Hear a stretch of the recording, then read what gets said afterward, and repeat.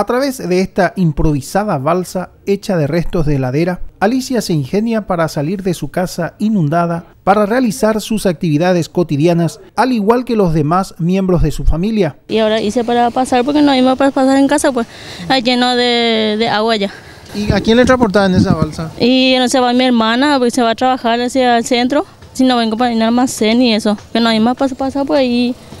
Y mi papá se va a trabajar también en ese. Si bien la asistencia con víveres, colchones, chapas y terciadas ya llegó a varios damnificados del Bañado Norte, muchas familias denuncian que aún no recibieron ningún tipo de ayuda de parte de la comuna capitalina. Y eso es lo que queremos mudar, pero no tenemos el ayudo. Vino el ayudo, pero hasta la arribada nomás. Y nosotros no llegamos a la chapa. Y acá lo que necesitamos es la chapa, víveres, medicamentos, porque hay muchas criaturas que ya están enfermos ya. Ahí va ahí, la hiporia, la ayuda y ya saco cara ahí, pero para arriba, no para abajo. Y vívero o chapa o así, abrigo, porque ayuda va a ser lindo. No, gente, ahora la vívere.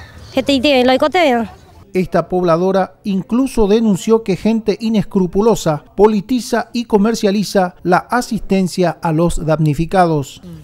Por ejemplo, esta una chapa. Hamba e paja e upi camión o era joven de pa. Había sido abuelita y había tenido cotea. Upi año no acá. Había sido ñeme y supera.